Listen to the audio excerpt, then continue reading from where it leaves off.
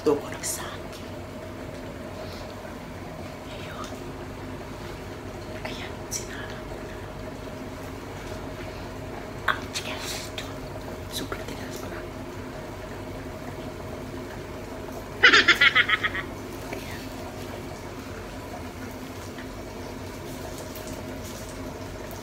Ayan. Sinalang kong sabi.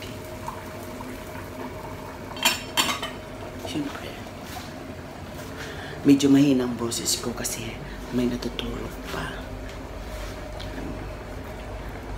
Namiss ko to. Tapos haluan mo yung alamang. Sarap. Sarap nito talaga. Mm. Mm. Yummy.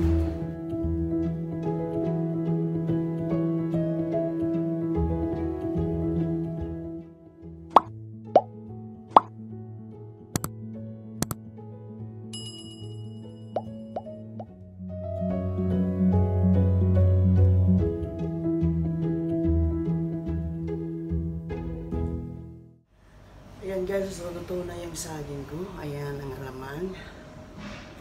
Bubuksan natin. Matikman.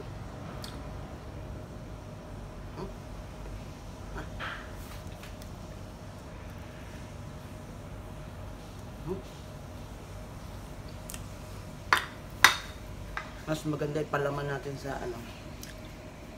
Palaman ko sa saging. Manghang. Manghang pala.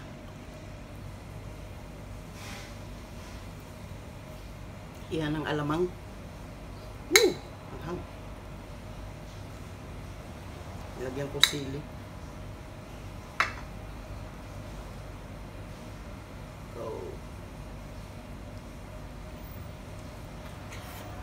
Mm.